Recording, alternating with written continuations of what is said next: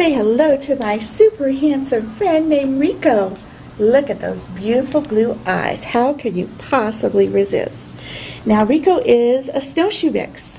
Um, a snowshoe mix has um, beautiful blue eyes. He's got white feet, of course, and look at these beautiful spots.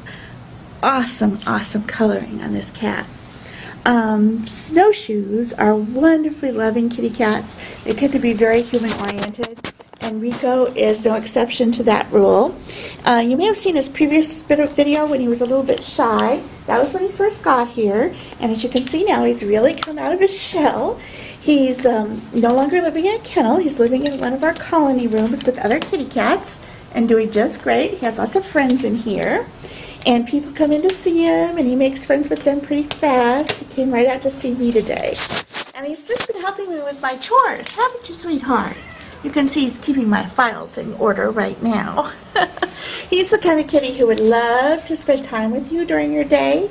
So if you're working on the computer, he would want to help you with that. Or if you're reading a book, he could keep your lap warm. Or if you're doing some chores, he could follow you around, and he could, of course, help you keep your papers in line. Makes a great paperweight. Rico is a very fun guy. He's happy and friendly and full of joy and fun, and he's going to make not only a gorgeous addition to someone's home, but a very sweet one too. So if you're looking for a great pet, come take a look at Rico. Um, as you saw before in his previous video, he could be just a little bit shy when he's first getting used to a new environment and new people, but once he does, he is quite the fellow. Come see Rico. His personality is shining through now, and it's a wonderful one. This is Rico, available for adoption.